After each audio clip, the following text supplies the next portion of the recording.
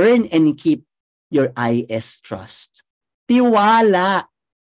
Alam nyo, yung boss na toxic, kaya din siya nagiging toxic is because of a lot of pressure. Pressure to deliver.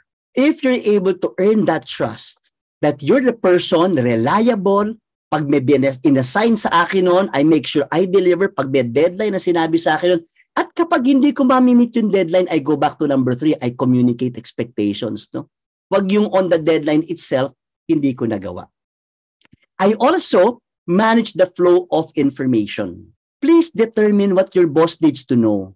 Ang dami-dami-dami mong sinabi sa boss mo. Tapos yung boss mo naiinis, I don't need that information. That's detail. No, that's so trivial. That's too much information. Or sa presentation mo, sa 20 PowerPoint slides na ginawa mo, tatlo lang yung na-present mo.